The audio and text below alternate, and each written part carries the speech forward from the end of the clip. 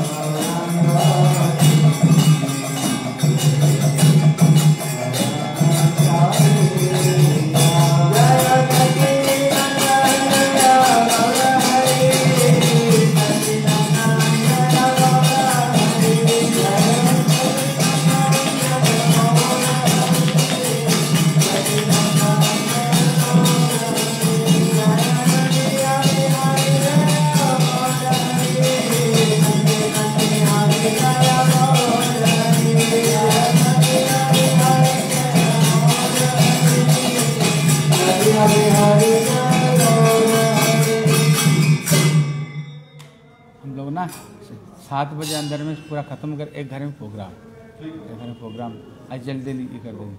हैं? माँ माँ फटाफट खत्म करके आरती करके फिर चल।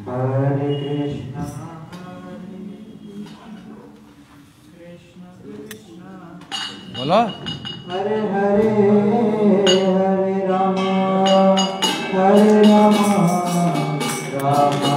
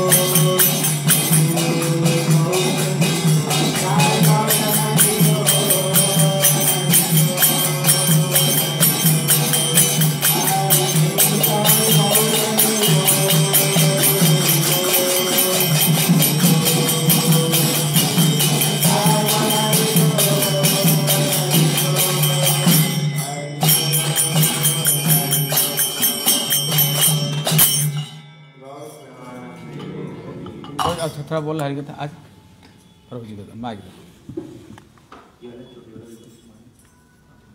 नहीं हाँ प्रभु, कॉल कर दे दो, प्रभु, कॉल कॉल कर बोलो।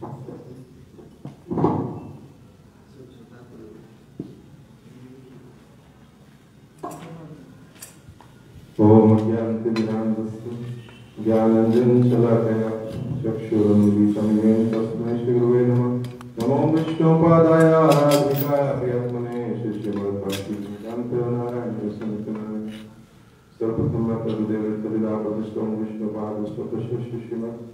भक्ति वेदांत नारायण गोसाई महाराज की चरण सरोज में अनंत कोटि दंड ज्ञापन करता हूँ तत्पश्चात मैं शिक्षा गुरुदेव भक्ति वेदांत श्रीधर गोसाई महाराज की चरण कमलों में मेरा कोटि कोटि दंड प्रणाम प्रणाम समस्त ब्रह्मचारी गणों के चरणों में मेरा कोटि कोटि दंड प्रणाम उपस्थित समस्त वैष्णव वैष्णवियों के चरणों मेरा कोटि प्रणाम महाराज जी ब्लॉक में आए हैं पूरा आनंद से ब्लॉक भर गया। कृष्ण ने कर दिया। आज तो हृदय बाग बाग हो गया इतने बच्चे इतने बच्चे आ गए स्कूल के और सुंदर। जगह नहीं हो रहा था मंदिर। हाँ, केवल यही यही यही नहीं आया। सर दर्द कर गया तुम्हारी। तबीयत आज भगवान की कथा से तबीयत सही हो जाता है। बच्चों को इतना आनंद आया कल थोड़ा सा इतना उत्साह नहीं था लेकिन वो समझ गए अभी हमारे सिद्धांतों को बड़े सिद्धांतों को समझ रहे हैं। तो आज उत्साह के साथ वो नृत्य भी कर रहे हाँ। वो समझ गए कि ये हरे कृष्ण महामंत्र जो है सब कुछ यही है। अभी भले ही उन्होंने अनुभव नहीं किया लेकिन उनको आभास हो गया। तो ये बहुत बड़ी कृपा है हमारे गुरुवर्गों की गुरुदेव की और यहाँ पर विराजमान जगन्नाथ जी। तो उद्देश्य क्या था? हरिनाम। अब हरिनाम जो है, भगवान से अलग नहीं। चलते जाते भगवान इस हरिनाम में, जिसे कहते हैं ना, ब्रह्मेति, परमात्मेति, भगवान इति शब्द थे तो ब्रह्म शब्द है। और इसमें जो साक्षात भगवान में जो शक्तियाँ होती हैं, वही पूर्ण शक्ति इस नाम के अंदर भगवान ने भर रखी। जो इसे निष्ठापूर्वक जपेगा, कीर्तन करेगा, निश्चित तौर से उसका हृदय परिवर्तित होगा। चाहे वो कितना भी कठोर हृदय वाला क्यों ना हो, वो पिघलेगा। और पिघलने के बाद उसके अंदर जो हमारी अनंत करोड़ों जन्मों से हम लोग जन्म ले रहे हैं मृत्यु प्राप्त हो रहे हैं और हमारी जो कामनाएँ हैं इच्छाएँ हैं और जो हमारे कलवश है क्लेश है और जो हमने पाप किए हैं वो सभी है ना उड़ा एक बार सब बोलेंगे हरे कृष्णा हरे कृष्णा हरे कृष्णा हरे कृष्णा कृष्ण कृष्ण हरे हरे कृष्ण कृष्ण हरे हरे हरे राम हरे राम हरे राम हरे राम राम तो ये महामंत्र इतना शक्तिशाली पावरफुल है। इसकी सुंदर तरीके से एक कथा में हम इसको और भी अच्छे समझ सकते हैं। एक बार श्री हनुमान जी जो है, समस्त भालुओं को, बंदरों को जो है, पुल का निर्माण हो रहा था, लंका से जो है, लंका के लिए पुल बना रहे थे तो उसमें बड़े बड़े पहाड़ पर्वत उठा करके ला रहे थे। तो वहाँ पर देखा श्री रामचंद्र जी का नाम नल और नील। जो वानर है वो लिख करके पत्थर पर डालते और वो तैर जाता। तो हनुमान जी ने देखा, श्री रामचंद्र भगवान अभी तो यही विराजमान थे, कहाँ चले गए? तो श्री रामचंद्र जी थोड़ा सा दूर जा करके, जहाँ पुल निर्माण होता उससे दूर चले गए और वहाँ पर एक झाड़ियों के पीछे छिप करके समुद्र के पास पत्थर को उठा के ऐसे डालते हैं और वो पत्थर जो है जल के अंदर नीचे डूब जाता। बड़ी देर तक हनुमान ने छिप कर देखा कि भगवान राम क्या कर रहे हैं। और पास पहुँचे, पास पहुँच करके कहा, हे प्रभु, आप क्या करते हैं? तो श्री रामचंद्र बोलते हैं, मैं देख रहा हूँ कि ये जो तुम्हारे बानर है, ये क्या करते हैं? पत्थर को उठाते हैं और जो है, इस तरह से लगा देते हैं वो चिपक जाते हैं आपस में और नीचे डूबते नहीं। लेकिन मैं जो पत्थर उठाता हूँ और छोड़ता हूँ जल के अंदर, वो एकदम से डूब जाता है। तो हनुमान जी मुस्कुराए, कहा, महाराज, हे प्रभु हे श्री रामचंद्र, आपके चरणों में कोटि कोटि प्रणाम है। उस पत्थर में आपका नाम लिखा जा रहा है। और नाम लिख करके जब वो छोड़ते हैं तो वो कहाँ डूबेगा? जिसको आप छोड़ देंगे, वो तो डूबेगा। आप जब छोड़ रहे अपने हाथों से ही तो वो तो डूबेगा ही। और उन पत्थरों में आपका नाम तो हरि से बड़ा, हरि का नाम। इस तरीके से यहाँ पर हरिनाम की महिमा को हम समझ सकते हैं कि हमें निरंतर हरिनाम जप, हरिनाम संकीर्तन करना है। और यहाँ पर जब सुबह शाम कीर्तन होता है, भक्तों के साथ बैठना चाहिए। हमें थोड़ी सी कीर्तन की जो है लय, ताल इत्यादि समझ में आएगी। और इसके अंदर भक्ति विनोद ठाकुर जी ने बहुत सुंदर सुंदर जो है भजन लिखे हैं। नरोत्तम दास ठाकुर जी के, उनको हमें हिंदी में भी समझना चाहिए। तो हम समझ पाएँगे कि शुद्ध वैष्णव के, शुद्ध संतों के जो भाव होते हैं, वो साधारण भाव नहीं वो जो दर्शन करते हैं, वही लिख देते हैं। और जो उन्होंने साक्षात दर्शन किए होते हैं, वो भजनों के अंतर्गत होने के कारण वो हमारे हृदय को पिघालने में सक्षम है। साधारण जो कवि हैं, वो हमारे हृदय को कभी परिवर्तित नहीं कर सकते। क्योंकि जिसके हृदय में साक्षात राधा कृष्ण विराजमान है और निरंतर भगवान की लीलाओं का दर्शन कर रहे हैं या अनुभव कर रहे हैं या उनके प्रेम का अनुभव कर रहे हैं, वो कुछ चीज़ लिखेगा तो वो निश्चित तौर से संचालित होगा। और साधारण कोई भी आजकल जैसे बना देते हैं, बहुत सारी कविता बना देते हैं, भजन बना देते हैं, पूर्ण तरीके के भजन बना देते हैं, उनसे कोई भी लाभ होने वाला नहीं। तो हमें ऐसे संतों के लिखे हुए भजनों का अनुशीलन करना चाहिए, उनको ग्रहण करना चाहिए, तब हमारा कल्याण हो सकता है। ठीक है, एक बार सब बोलेंगे, हरे कृष्णा हरे कृष्णा, कृष्ण कृष्ण, हरे हरे हरे राम हरे राम राम राम, हरे हरे। ठीक है, अभी समय भी कम है, महाराज जी को भी जाना आधे घंटे में महाराज जी से ज़्यादा सुनेंगे। धन्यवाद।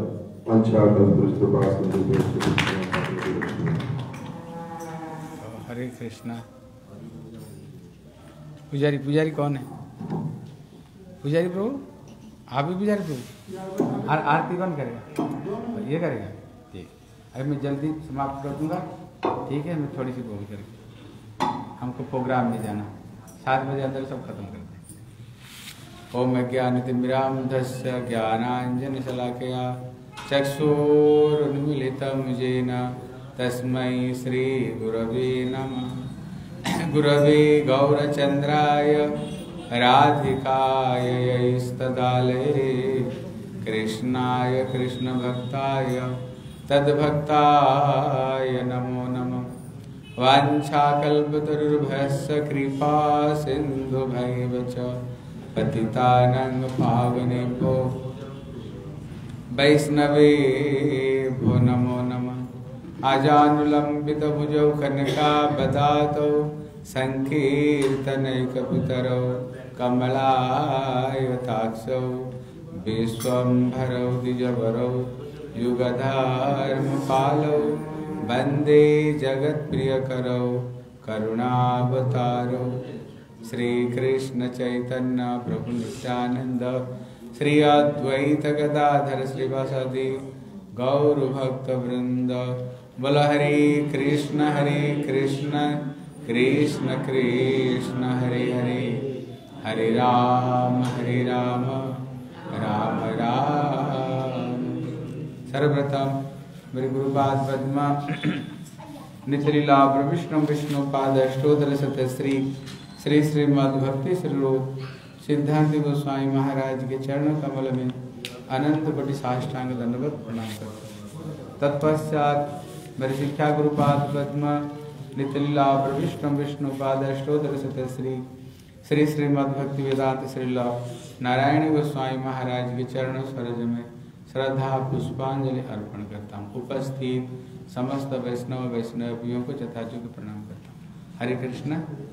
गत कल हम लोग श्रवण कर रहे थे, कृष्ण कैसे तृणावर्त को उन्होंने कैसे वध किया है। लेकिन जब उन्होंने तृणावर्त को वध किया, जितने ब्रजवासी बोले देखो, जो दूसरा का अनिष्ट सोचता है, उसका अनिष्ट स्वयं ठाकुर जी सोचते हैं।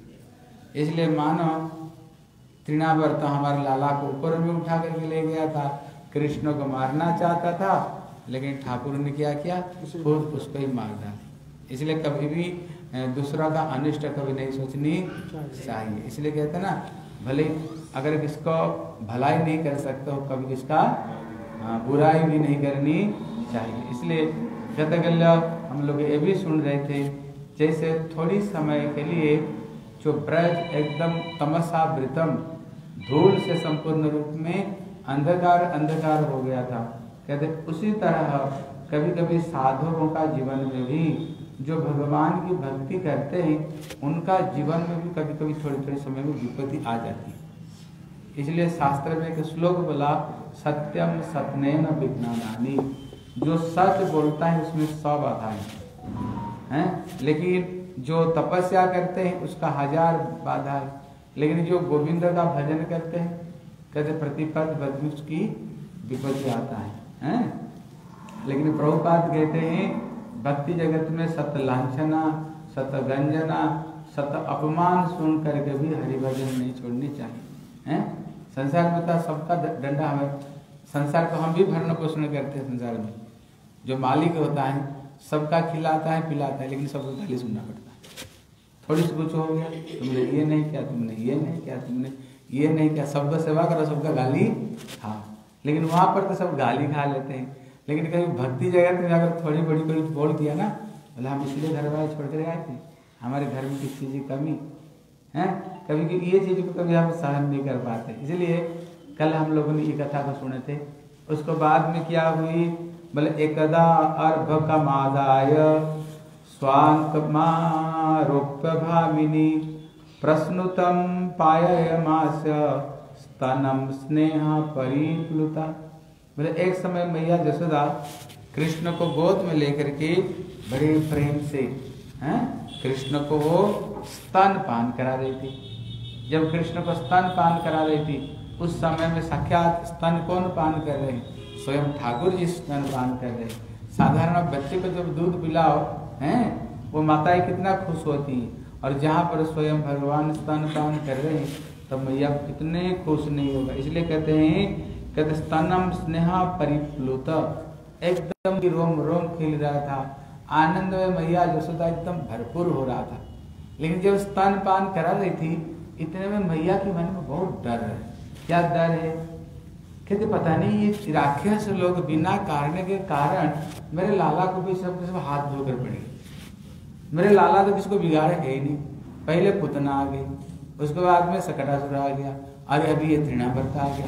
पता, नहीं कहाँ से सबके सब नखड़े सबके सब मेरे लाला के ऊपर। मैया दुष्टा बड़ी डरी हुई थी हैं? इतने में कृष्णा ने देखा मैया तो डरा हुआ है। सोच रही पता नहीं मेरे लाला का क्या होगा, नहीं होगा, क्यों बारंबार लाला के ऊपर विपत्ति आ रही इतने में कृष्ण जब मैया के स्तन पान करा करा रही थी, कृष्ण ने थोड़ी सी उन्होंने जम्भाई ली जब उन्होंने थोड़ी सी जम्भाई ली कृष्ण कितना बड़ा? है? एक साल के हुए एक साल का बच्चे का मुँह कितना होता है? छोटी सी होगा। लेकिन जब छोटी सी उन्होंने जम्भाई ली जम्भाई लेते ही मैया, जसोदा कहते, कृष्ण की गर्भों के अंदर में हैं? कहते कितने, हैं? कहते दीक सकल सूर्य, चंद्र, अग्नि, वायु, समुद्र, पर्वत, नदी वन स्थावर, जंगम, चंद्र, नक्षत्र। इतने छोटे से मुँह में विश्व ब्रह्मांड कृष्ण दिखा लिया। मैया खुद को खुद भी देख रही थी। मैया तो देख रहे, डर गई। क्या मैं अलाई भलाई क्या देख रही हूँ? लाला के ऊपर के भूत भूत तो नहीं आ गया, हैं? इतने में जब मैया जसोदा डर गई मेरे लाला के ऊपर कुछ है लगता है कि अलाई बलाई हो गई। मैया जसोदा डरते फिर कृष्ण ने क्या किया? सारे, हैं? विश्व रूप जो दर्शन करा रहे थे, विराट रूप को उन्होंने, फिर उनने छुपा लिया। अभी अब बता विराट रूप कितना बड़ा होगा? जहाँ पर चंद्र, सूर्य, ग्रह, नक्षत्र, वो तो अनंत विश्व ब्रह्मांड है ना? लेकिन कृष्ण अभी कहाँ पर है? मैया की गोद में। मैया की गोद में कृष्ण स्तन पान कर रहे हैं। लेकिन उसका अंदर में भी विश्व ब्रह्मांड दिखा दिया। यहाँ पर विश्वनाथ को ठाकुर कहते हैं हैं? कहते, यही भगवान की अचिंत शक्ति, यही भगवान की विभुता है, भगवान के आश्चर्य है। गोद में बैठे हुए, इतने छोटी सी मुँह, इतने छोटी से कहीं चंद्र, सूर्य, ग्रह, नक्षत्र, समुद्र कहीं आ सकता है?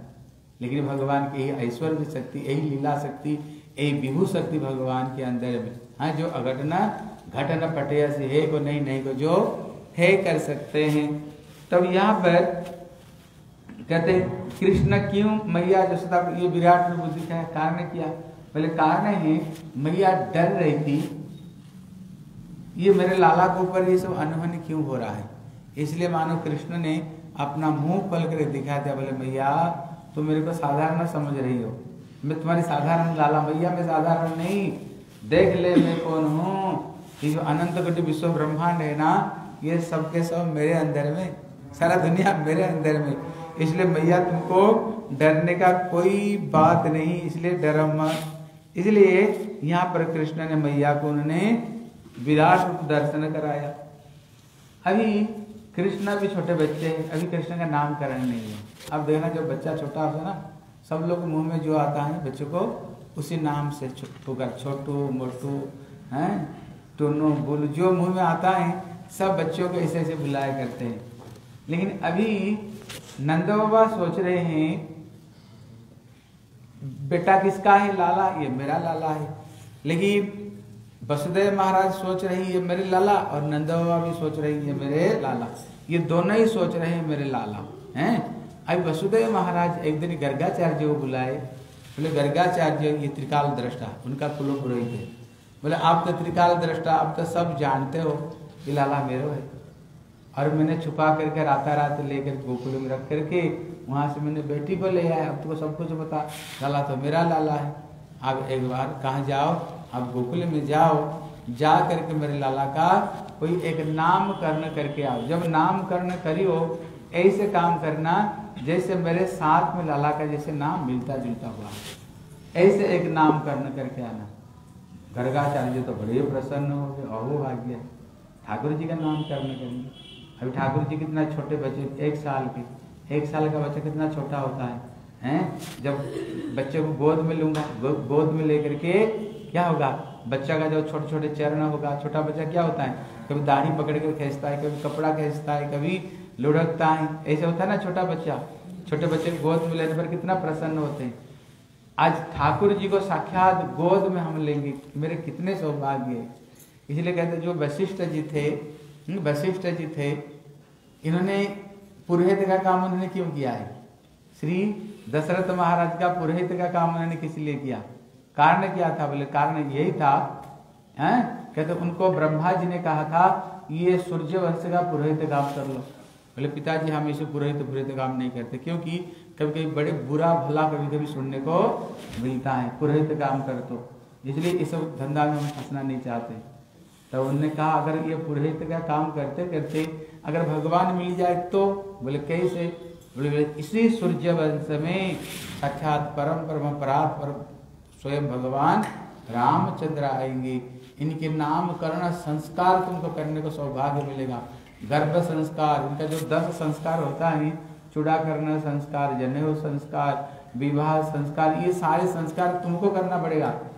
साक्षात भगवान का, हैं? इसलिए साधारण ये वंश में सकल ठाकुर जन्म लेने वाले, तब श्री वशिष्ठ जी बोले ठीक है। अगर ये पुरोहित का काम करते करते ठाकुर जी की, इसलिए जब उन्होंने राम करा, भगवान राम का जब उन्होंने नामकरण किया था ना, ऐसे उन्होंने गोद में लेकर के उन्होंने ऐसे आविष्ट हो गए विश्वामित्र वशिष्ठ जी। कहाँ?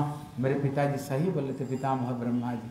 आज ठाकुर जी को हम गोद में लेकर के, ठाकुर जी को गोद मिले भगवान राम को, हैं? उन्होंने गोद में लेकर नामकरण किया।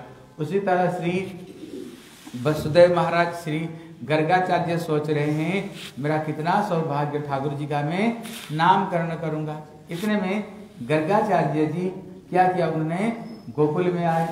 गो, जब गोकुल में श्री नंद बाबा का घर में आए तब यहाँ पर कहते हैं बोले गर्ग पुरोहित राजन जदुनाम सुमहातपा ब्रजम जगामनंदस्य वसुदेव प्रचोदितम।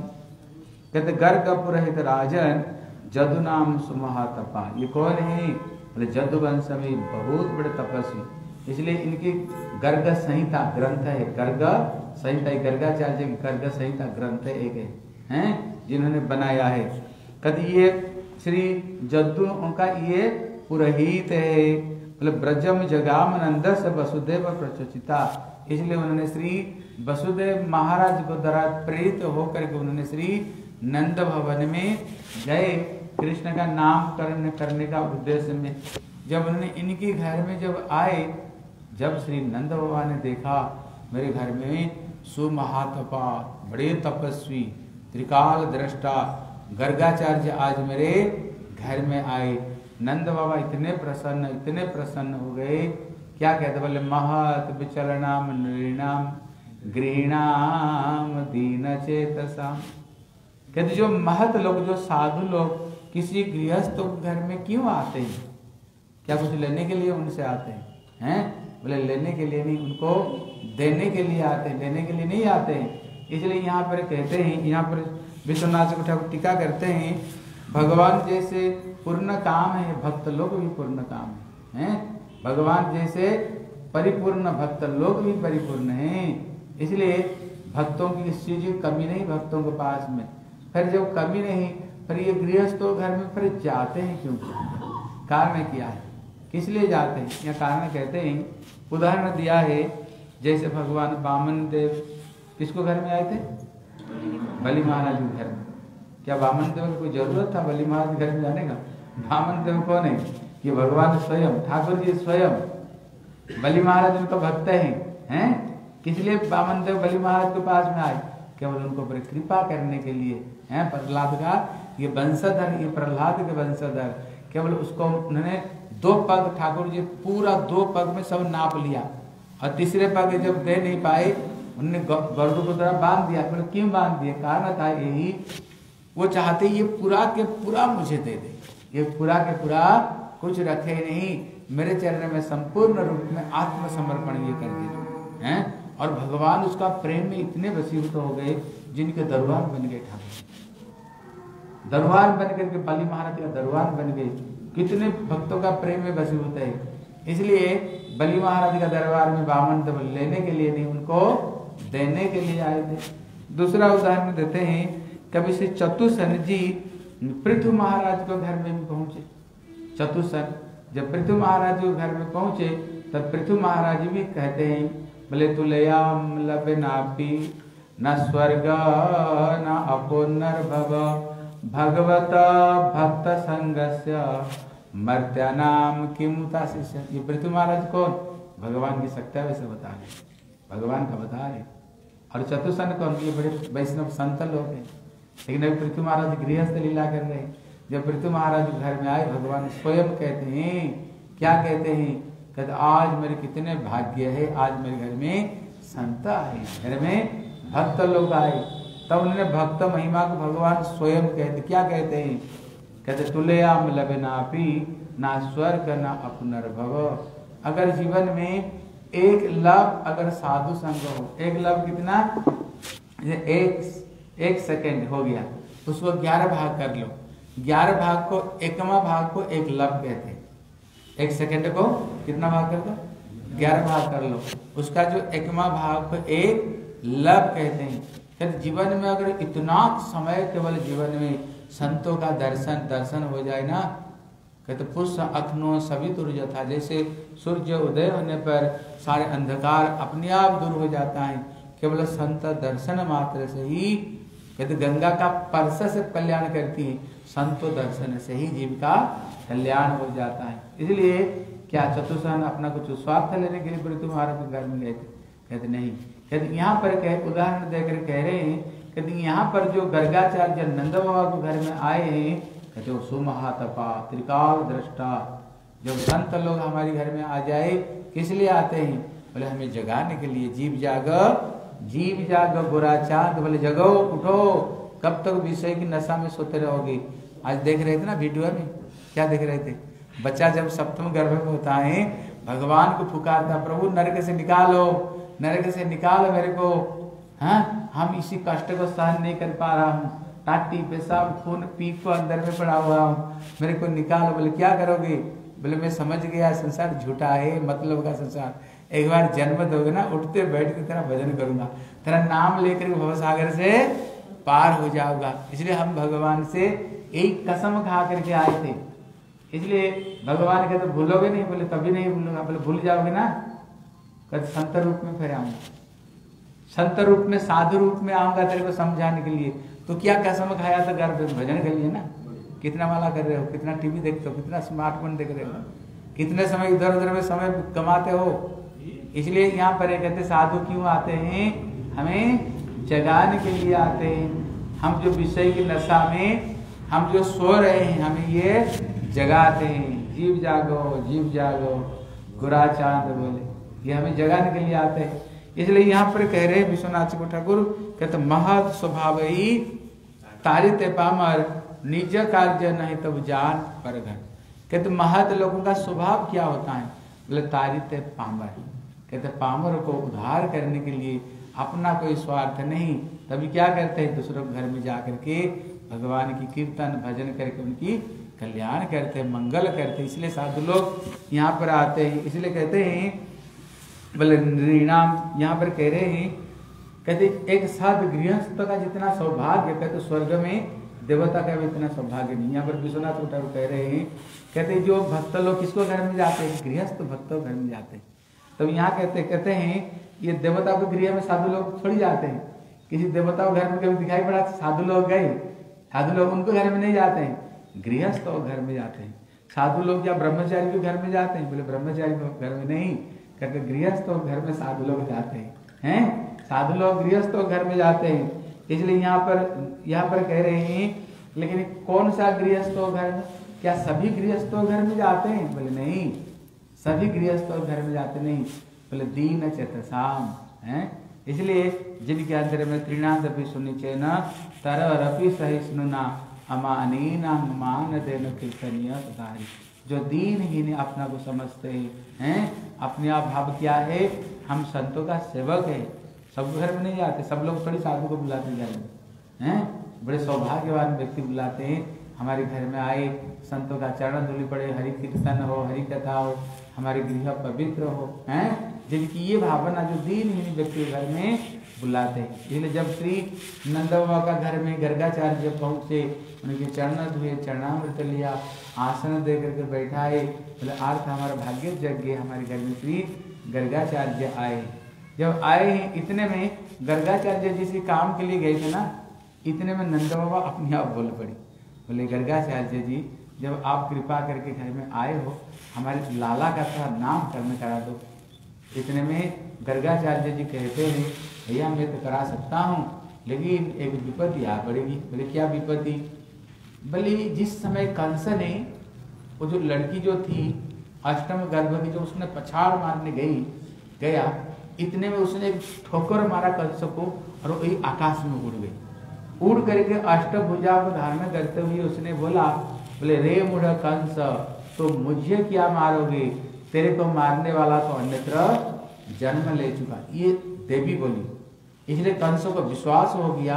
ये अष्टभुजा धारण करते हुए मेरी देवी कह रही मतलब ये सच बात है। इसलिए अभी वो एक एक करके भेज रहा है। पहले पुतना को भेज दिया, कृष्ण राम नाम सत्य करा दिया। उसके बाद में फिर उन्होंने सकटासुर को भेजा, उसको भी राम नाम सत्य हो गई उसके बाद में फिर उन्होंने त्रिणावर्त को भेजा, उसका भी राम नाम सत्य हो गया। अभी कृष्ण ने उन्होंने तीन तीन दैत्य को उन्होंने ऑलरेडी ये तीन तीन दैत्य को मार चुके हैं। इसलिए अभी ये कंस गुप्तचर को द्वारा सब पता लगा रहे भैया, क्या ये नंद की छोरा में है क्या चीज़? ये तीन तीन बच्चों को कभी मार डाला है? भैया, हो ना हो। यही तो अष्टम गर्भ का संतान नहीं। है? इतना छोटा बच्चा, इतने बच्चे कैसे मार डाले? उसको मन में ये शंका हो रहा है। और मैं किसका मैं किसका पुरोहित हूँ? तेरा पुरोहित नहीं हूँ, तुम्हारा पुरोहित तो शांडिल्य है। लेकिन मैं किसका पुरोहित हूँ? वसुदेव का। अगर मैं तुम्हारे बच्चे का नामकरण कर लिया, किसी तरह से गुप्तचर को द्वारा पता चल गया कंस को, ये गर्गाचार्य मथुरा से गया कहा? गोकुल। और गोकुल जाकर उसने बच्चों का नामकरण करवाया। अगर पता चला गया ना, वाह, उनका मन में डाउट हो जाएगा। क्यों? इतना दूर से क्यों गए? इसलिए गए हो ना हो, ये वसुदेव का छोरा तो नहीं है। हैं? इसके मन में ये शंका हो जाएगा कि वसुदेव का तो छोरा नहीं है। इसलिए तेरे लाला के ऊपर में ना विपत्ति आ पड़ेगी, ये बड़ा विपत्ति है। कितने में श्री नंद बाबा कहते बोले, देखो ये काम कर लो। जब आप कृपा करके आए हो, हम गोष्ठों का अंदर में, गया जब गोचारण करने के लिए चले जाएँगे, चरने के लिए चले जाएँगे, गोष्ठ तो खाली रहेगा। कहते गोष्ठों का अंदर में छुपा करके आप नामकरण करा दो। जब बाद में ना, अभी मैं उत्सव नहीं करूँगा, अभी मैं उत्सव नहीं करूँगा, छुपा कर कर देगी, फिर बाद में कहीं उत्सव करेगी इसको पता ही नहीं चलेगा। गर्गाचार्य तो इसीलिए आए थे, बोले, ठीक है, ले आओ। तब तो उन्होंने कृष्ण बलराम को लेकर के मैया जसोदा नंद बाबा ले आए, और लेकर के उन्होंने सर्वप्रथम उन्होंने श्री बड़े भाई का, श्री बलदेव प्रभु का उन्होंने नामकरण करवाए, लेकिन गर्गाचार्य थे त्रिकाल दृष्टा है? तो उन्होंने ध्यान लगाया कि बच्चा कौन है? जो उन्होंने ध्यान लगाया ना विश्व ब्रह्मांड को दर्शन किया, बोले कौन है? बोले कारण तो साई गर्भोद साई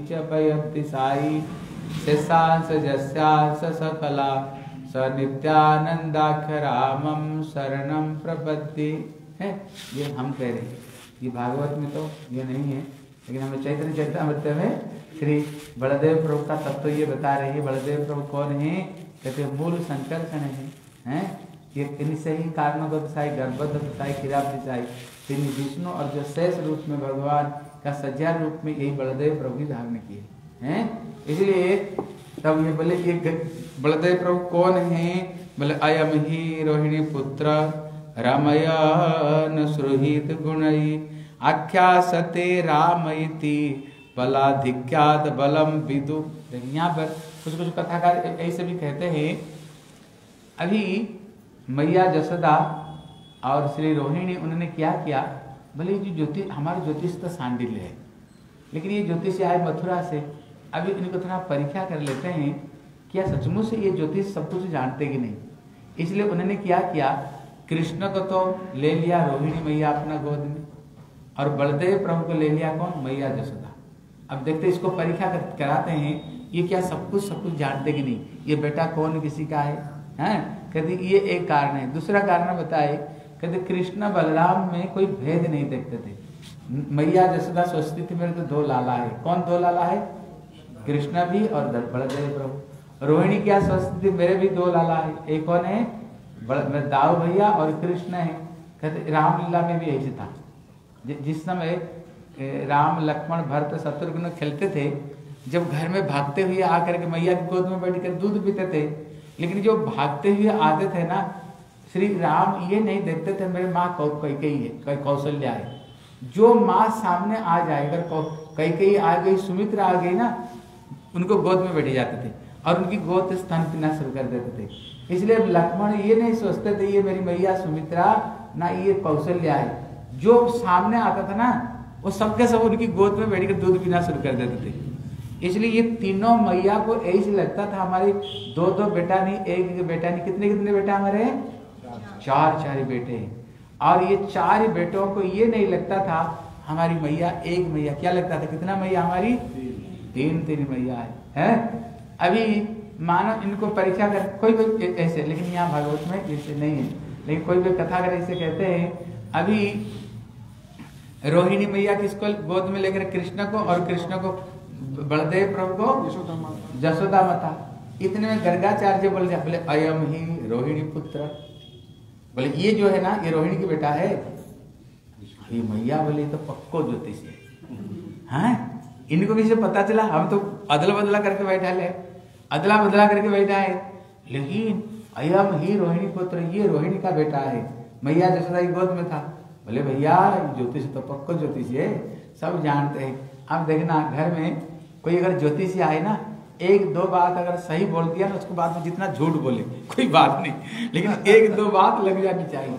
अब जो ज्योतिष जो ज्योतिष है ना उनको भी पता है पैसा तो कमाते हो लेकिन पैसा रहता नहीं घर। बोले किसको घर पैसा रहता? दुनिया पैसा कमाते घर में पैसा नहीं रहता। तुम तो सबका सबका भला मानते हो लेकिन तेरा भला भी नहीं मानते। दो चार बात वो याद कर रखते हैं। हाँ बस ये बात को बोल देना बोले, बात सही बता रहे हो। हम सबका भलो चाहते हैं और हमारा भला कोई नहीं चाहते। इसलिए उन्होंने हाँ ऐसे ऐसे कुछ कथा करके कुछ कुछ बोलने का ही। है, लेकिन इसका जो यहाँ पर कह रहे हैं गर्गाचार्य जी, इसका जो अयम ही रोहिणी पुत्र, ये जो रोहिणी का बेटा है, रमय तो सुहृद गुणई अपना सुंदर गुणों को द्वारा सबको मोहित करेगा। ये रोहिणी का बेटा है। और आख्यासते राम इति, इसका क्या नाम होगा? इसका नाम होगा राम। बोले, क्यों राम होगा? बोले, बलाधिक्यात बलम विदु। इसलिए इसका नाम होगा बल अधिक होगा। इसलिए इनका नाम होगा बल राम, इसका नाम होगा। और बलाधिक्यात मतलब होता है बल। बा किस चीज़ की बल प्रदान करते हैं? ये बलदेव प्रभु भक्ति की बल। इसलिए कहते हैं ना, एकाकी अमार नाही पाए बल, हरि नाम संकीर्तने तुम्हें कृपा करी, श्रद्धा, बिंदु दिया, दया, कृष्ण नाम धनी। इसलिए हमें जो भक्ति वाला के वाले कौन? वैष्णव ठाकुर। और मोर जो गुरुदेव कौन है? श्री बलदेव प्रभु। इसलिए श्री दाऊ भैया की बोले श्री बलदेव प्रभु की जय। इसलिए इनका नाम होगा बलराम एक, लेकिन और एक भी नाम होगा। क्या नाम होगा? बोले इनका एक नाम होगा संकर्षण बोले संकर्षण क्यों होगा? पहले तो ये देव के गर्भ में आए। और जोग माया इनको आकर्षण करके रोहिणी गर्भ में स्थापन किया। आकर्षण किया, इसलिए इनका नाम होगा संकर्षण। और इसलिए भी संकर्षण होगा, अगर कभी जद्दू वंश और गोप वंश में अगर किसी कारण से लड़ाई हो जाए, किसी कारण से मन मिटा हो जाए, ये ऐसे के बेटा बनेगा ना, दोनों को इकट्ठे करके रखेगा। अंदर में ये लड़ाई करने, झगड़ा करने ये बच्चा नहीं देगा। इसलिए इनका नाम होगा बलराम और एक नाम होगा श्री संकर्षण। बोले, श्री संकर्षण भगवान की अभी कल हम लोग सुनेंगे, कृष्ण का नामकरण क्या होता है? और श्री गर्गाचार्य जैसे कृष्ण का क्या नाम रखते हैं? और ये चीज़ कल सुनेंगे। अभी हम लोग कहीं प्रोग्राम में जाना, किसी घर में। ठीक है? बोले, श्री नित्यानंद प्रभु की दाऊ भैया की कृष्ण कन्हैया की पिता गौर प्रेमानंद हाँ सुर सुर कर फटाफट फटाफट, सुर। बोला, हरे कृष्णा हरे कृष्णा कृष्णा कृष्णा, हरे हरे। आगे जल्दी जल्दी। आगे आगे जल्दी जल्दी करना। थोड़ा जल्दी। हरे हरे कृष्णा, हरे।